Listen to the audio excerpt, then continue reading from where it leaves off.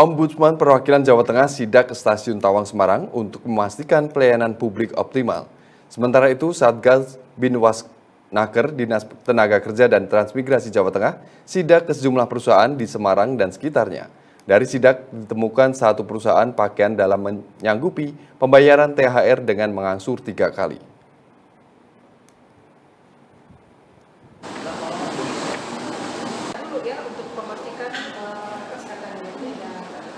Ombudsman Jateng mengecek posko pelayanan kesehatan untuk memastikan keberadaan tim medis siaga secara bergantian dengan memeriksa kesehatan masinis dan penumpang.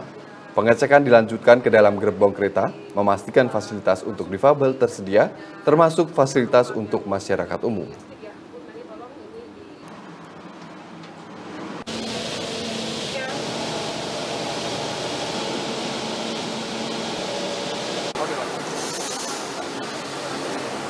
Udah THR belum? Udah berapa? Dinas Tenaga Kerja dan Transmigrasi Provinsi Jawa Tengah sidak ke sejumlah perusahaan di Semarang dan sekitarnya. Hasilnya didapati ada perusahaan yang membayarkan THR dengan cara dicicil. Dalam sidak pihak Disnakertran mengingatkan jika perusahaan tidak membayarkan THR, maka akan memberikan, diberikan sanksi berupa sanksi administratif dan denda.